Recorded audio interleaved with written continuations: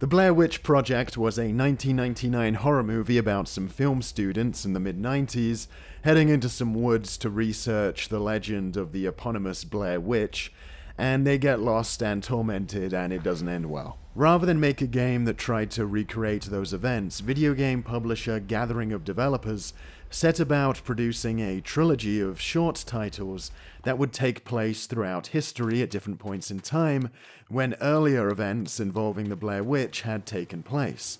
Some of them alluded to in the film. This was a great idea, expand on the events of the movie and its legends, while creating self contained stories that could experiment and not be tied to the plot of the film directly.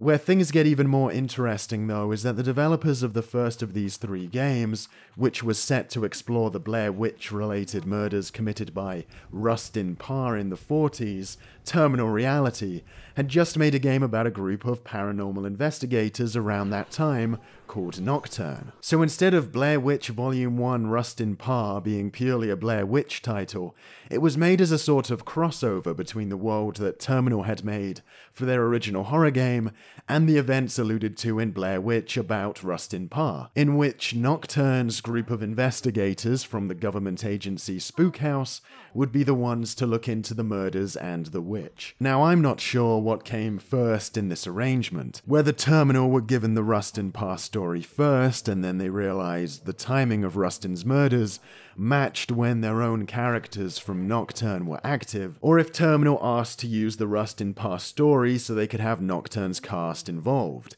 But either way, it is a pretty crazy and unique rare occurrence for a game studio to get a film license and then just drop their own original cast in there. This is like if in the 2000s you bought Underworld on PS2 and you boot it up and the game just starts with Dante at the DMC like, damn, these Lycans are getting out of hand recently.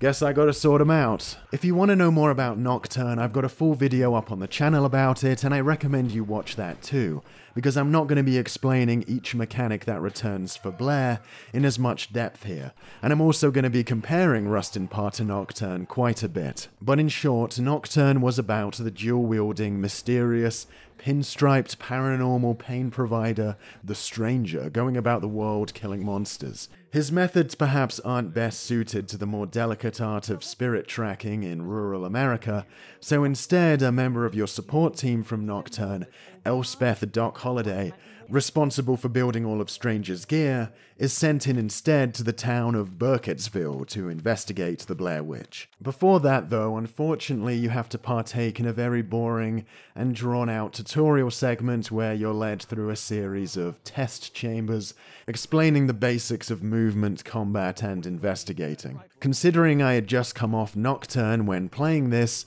this felt pretty excruciating especially since Nocturne didn't feature such a slow tutorial. But it makes sense that it's here. After all, some of this game's audience may have picked it up because they're fans of the film and are more casual gamers than the kind of crowd likely to purchase an original horror action game like Nocturne. On the bright side, at least it lets you see some more returning Nocturne characters if you bought this game more for its continuation of Nocturne instead. On the whole though, being a game directed at two demographics, Nocturne fans and Blair Witch fans, it's hard to tell what design choices were made to cater to who. Terminal turned down the challenge on this one compared to Nocturne, altering the gameplay mechanics and pacing of Nocturne to produce a much more consistent experience with Blair Witch. Whether this was done to cater to the likely more casual audience of a movie tie-in, or they were just quality changes any Nocturne follow-up would have gotten,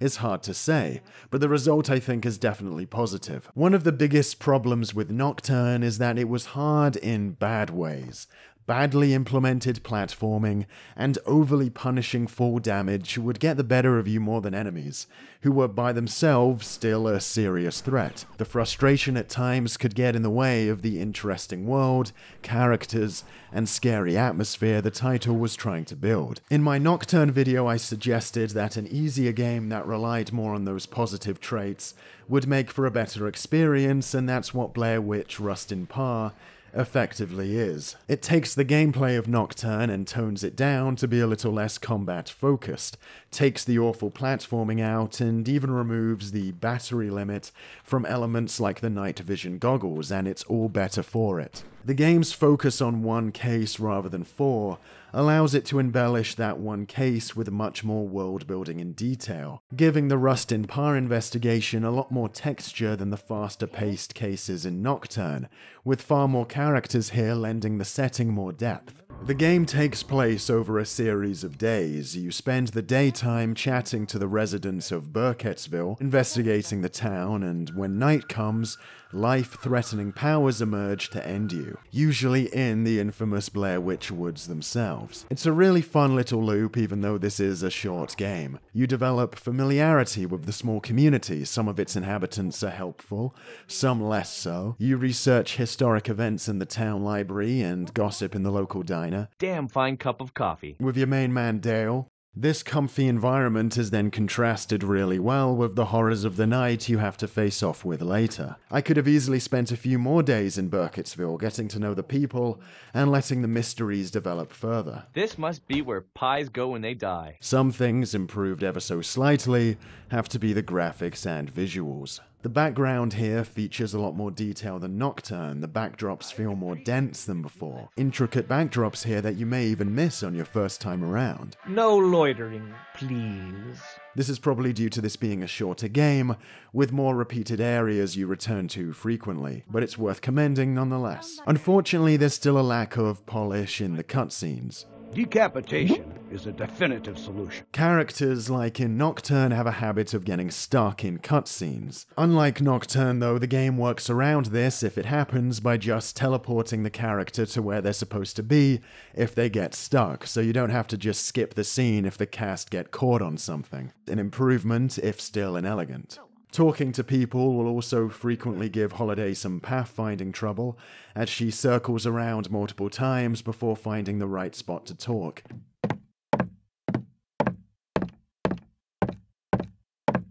Did you hear the news?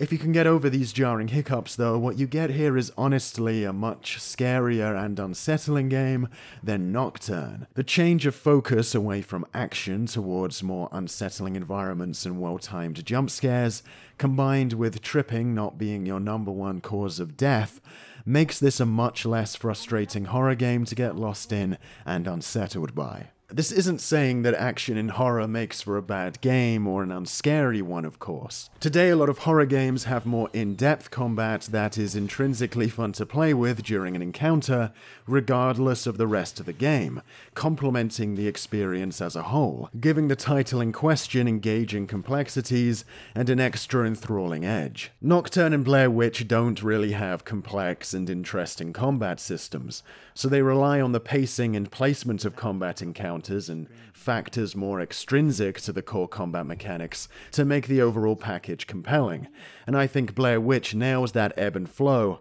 much better than Nocturne. Combat in Nocturne was pretty constant, even during puzzle sections it was hard to avoid being pestered at least a bit, but in Blair Witch there are far more moments of prolonged tension building a calm before every storm, which, like most other horror games with pretty basic fighting, makes the chance of combat and how it factors into the overall flow of the game more engaging than the combat itself. So the lack of complexity in that combat doesn't become as noticeable, and more importantly, stops the simple combat from becoming as much of a drag. Not that Blair Witch is a master at this, or a very survival based horror title in general but it is better at it than Nocturne. We're talking in relative terms here, but the direction is good. If there is something that threatens to throw off the scarier vibe, though, funnily enough, it may just be the confidence of our protagonist. Much like the stranger, Doc Holliday is a stone cold professional, and unlike protagonists in other horror games,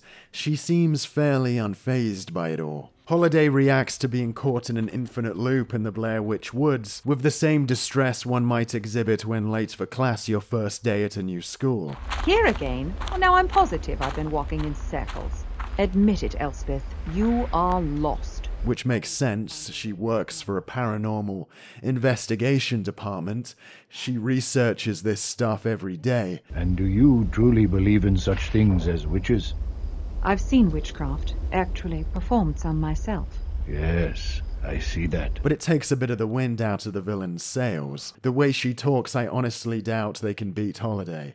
I've heard you've been going into the woods. Uh, yes, I just returned from the Parr residence. Alone? I hope you realize how dangerous that is, especially now. Yes, of course.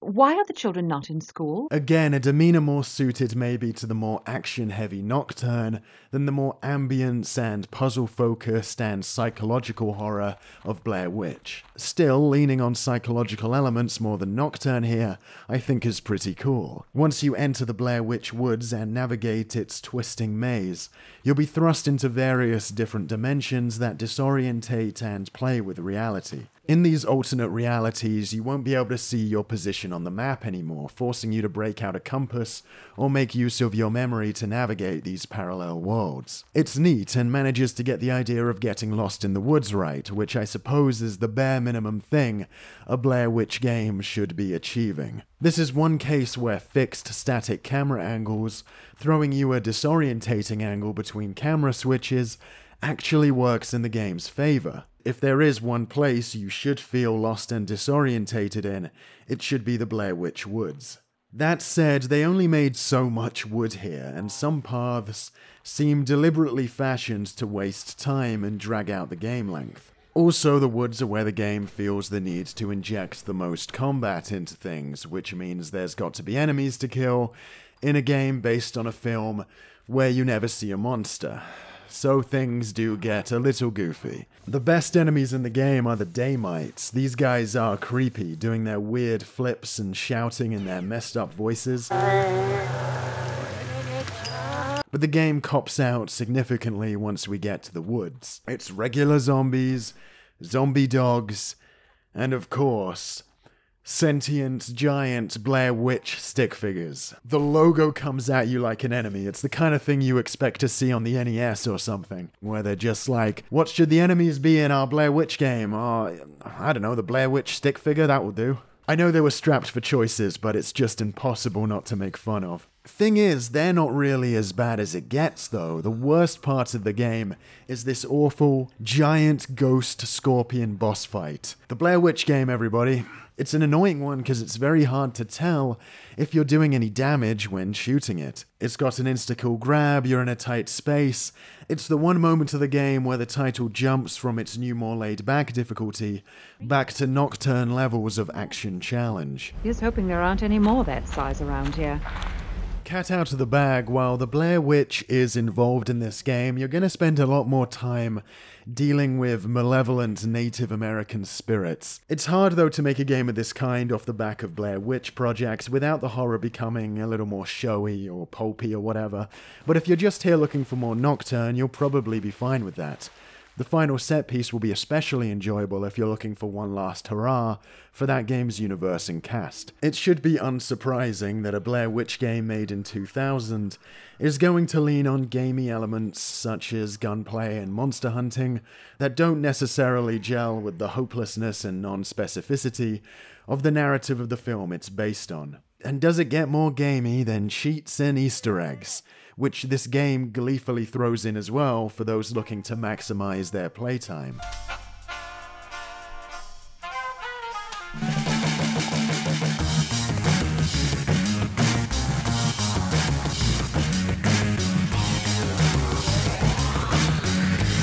The Blair Witch Game everybody. Man, Cooper just does not give a shit. What can I say? Man likes his coffee. This is honestly very funny. Video game models have come so far now, the idea that at this level of detail, any game would try to titillate is hilarious in retrospect. This isn't the only raunchy Easter egg either. I'll leave it up to you to find the other one. If you're looking for something a little more substantial than cheats and Easter eggs to extend this 4 hour game's length, and you didn't already pick it on your first playthrough, I suppose, there's Hard Puzzle Mode, which is actually pretty cool. It adds new puzzles, extends certain scenes. Stranger, you know I hate it when you smoke in here. Hmm.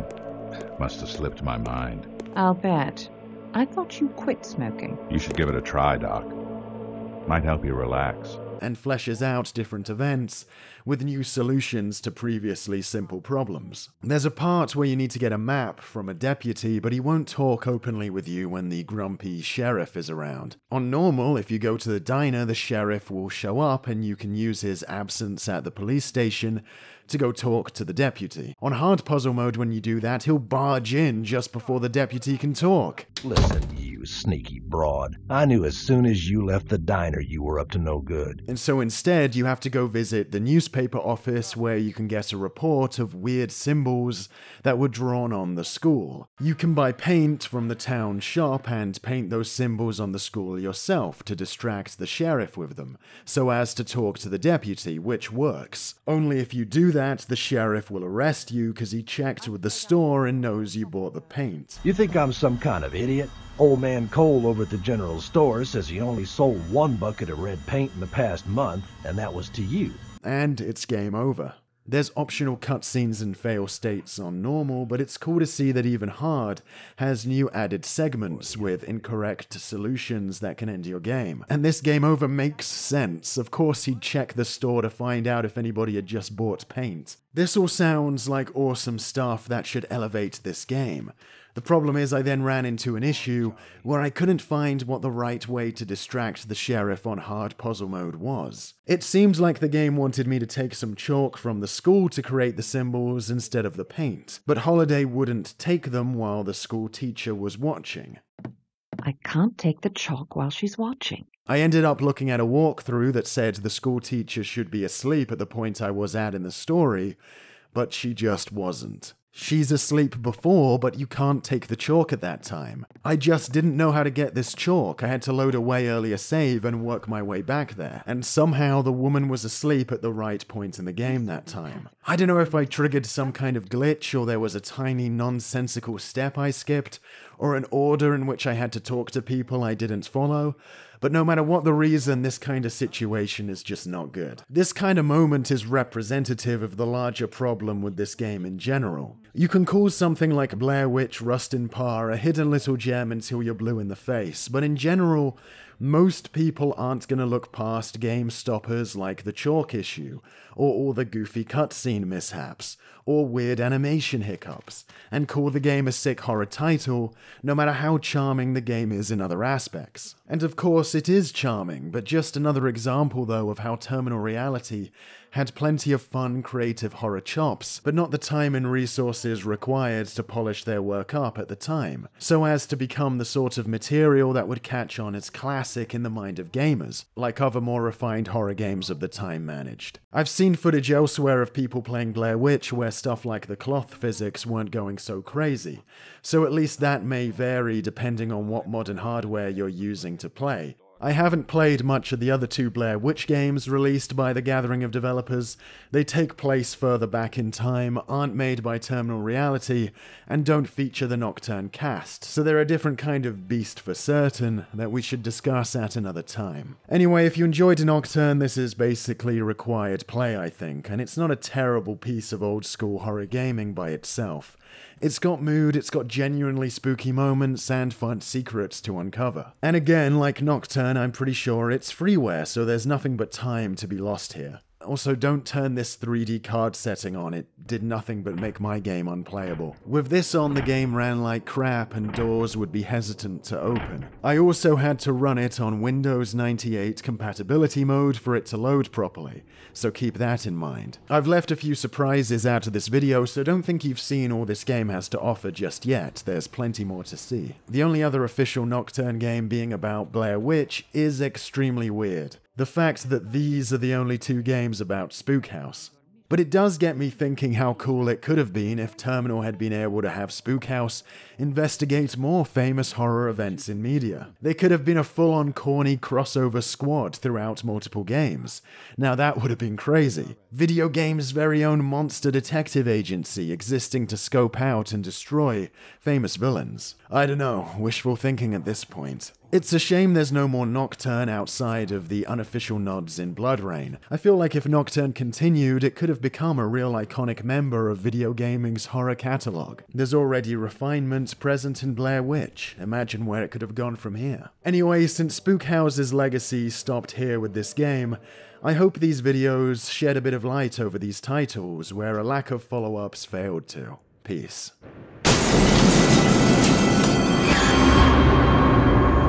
Thank you for watching. If you enjoyed this video, I would highly appreciate your backing on Patreon. Visit patreon.com slash thegamingbritShow or click the icon on screen if you're interested in helping out. A big thanks goes out to my top backers who you're seeing right now. Have a good one.